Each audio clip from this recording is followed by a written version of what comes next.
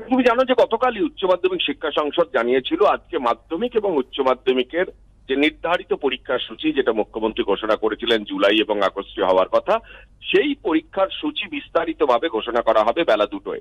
কিছুক্ষণ আগে উচ্চ মাধ্যমিক শিক্ষা সংসদ সিদ্ধান্ত নিয়েছে এবং জানিয়েছে যে সেই সূচি ঘোষণা পিছিয়ে দেওয়া হচ্ছে। অর্থাৎ আজকে সেই সূচি ঘোষণার জন্য নির্ধারিত যে সাংবাদিক বৈঠক, পর্ষদ এবং সংসদের যৌথ সাংবাদিক বৈঠক, সেটা আজকের মতো স্থগিত রাখা হলো। কবে হবে তা নিয়ে এখনও পর্যন্ত কোনো নিশ্চয়তা নেই।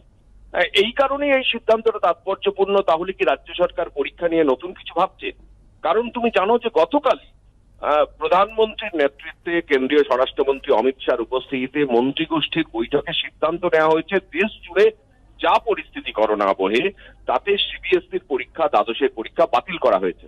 এবং তার দু ঘণ্টার মধ্যে আর একটা Delhi board council for Indian school certificate examination বা আইসিএসসি তাদের যে আইএসসি পরীক্ষা ক্লাস টুয়েলভের তাও বাতিল করেছে।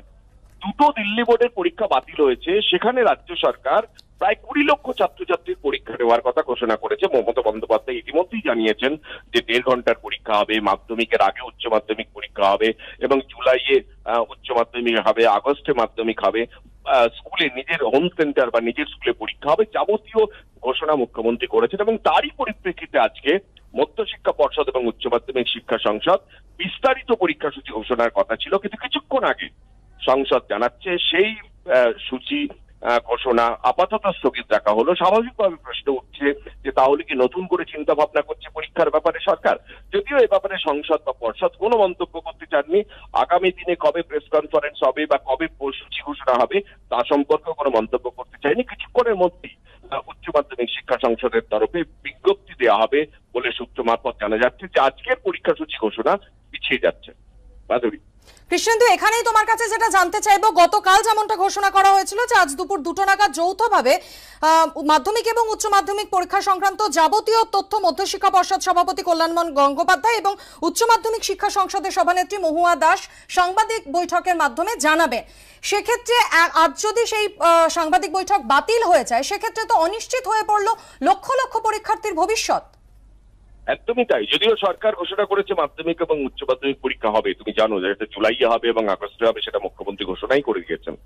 কীভাবে পরীক্ষা হবে সেটাও একটা বড় অংশ ঘোষণা করে দিয়েছেন মুখ্যমন্ত্রী। কিন্তু কবে থেকে পরীক্ষা হবে, কবে কি পরীক্ষা হবে, কীভাবে উত্তরপত্র মূল্যায়ন হবে বা কীভাবে সামগ্রিকভাবে মূল্যায়ন হবে, এই যে বিশদ যে পরীক্ষা সূচি, সেইটা আজকে পর্ষদ এবং সংসদের তরফে জানানোর কথা ছিল। কিন্তু আজকেই সেই জানাবার কথা থাকলেও তা আজকে, আজকের জন্য বাতিল করে দেওয়া, আগামী দিনে কবে হবে তা নিয়েও একটা অনিশ্চয়তা নিশ্চয়ই পরীক্ষার্থীদের একটা দুশ্চিন্তায় রাখবে।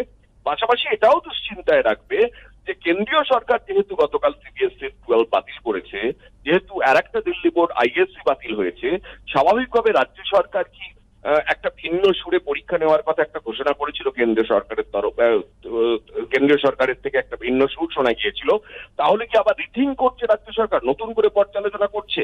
তাহলে আজকে পিছিয়ে যাবে কেন? যদিও ব্যাপারে এখনও কোনো স্পষ্ট বক্তব্য সংসদ বা পর্ষদের তরফ থেকে পাওয়া যায়নি। শুধুমাত্র সংসদ জানিয়েছে, কিছুক্ষণের মধ্যেই তারা বিজ্ঞপ্তি দিচ্ছে যে এই পরীক্ষা সংক্রান্ত যে পরীক্ষা সূচি ঘোষণা সংক্রান্ত যে সাংবাদিক বৈঠক দ্রুত সাংবাদিক বৈঠক হওয়ার কথা ছিল সেটা পিছিয়ে যাচ্ছে।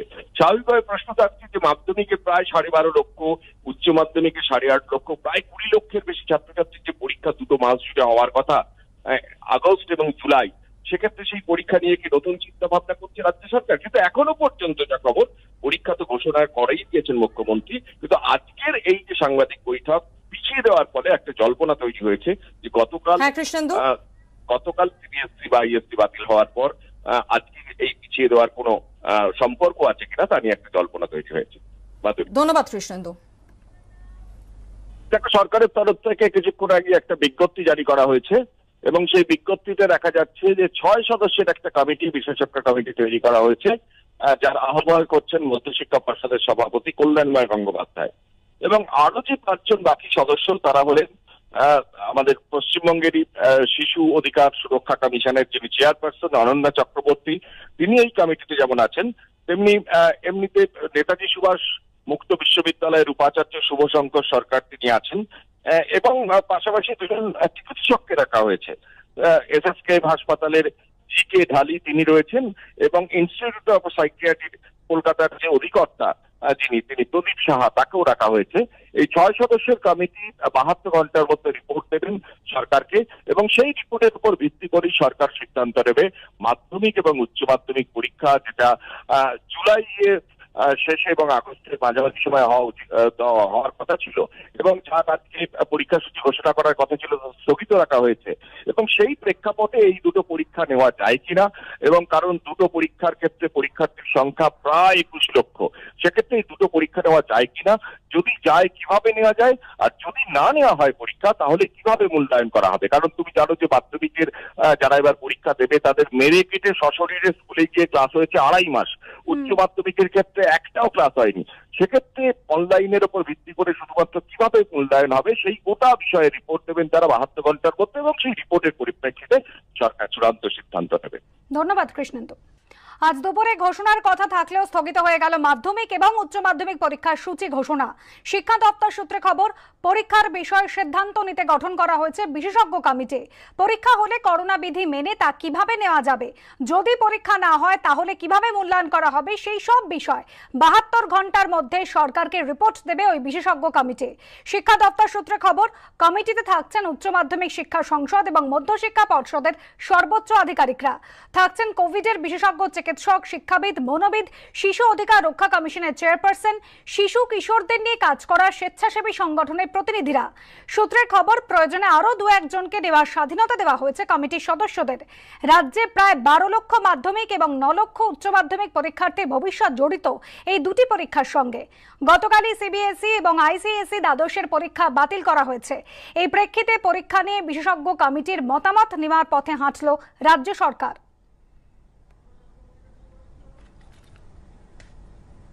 আমি ব্যক্তিগতভাবে মনে করি যে এটা এখন স্থগিত রাখা উচিত। সব থেকে বড় কথা হচ্ছে যে সিবিএসই আইসিএসসি তো তাও অনলাইন ক্লাস হয়েছে। মাধ্যমিক, উচ্চ মাধ্যমিকে তো অনলাইন ক্লাসও হয়নি। সিবিএসই অফ হয়ে গেল। আইসিএসসিও বন্ধ হয়ে গেল। সিবিএসসিতে মাত্র তেত্রিশ হাজার পরীক্ষার্থী পশ্চিমবঙ্গে, যেখানে উচ্চ মাধ্যমিকে বা উচ্চ মাধ্যমিকে হচ্ছে একুশ লক্ষ, বাইশ লক্ষ পরীক্ষার্থী। একটা বিশাল সংখ্যা। তো সেখানে তো ওদের মানে ভোটের পরে যা হয়েছিল আর কি, যে এত মানুষ বেরিয়েছিল, তাতে ভীষণভাবে বেড়ে গেছিল সংখ্যা, এবং বাচ্চাদের তো ভ্যাকসিনেশনও করা হয়নি। উইদাউট ভ্যাকসিন তারা বেরোবে, একসঙ্গে বসে পরীক্ষা দেবে।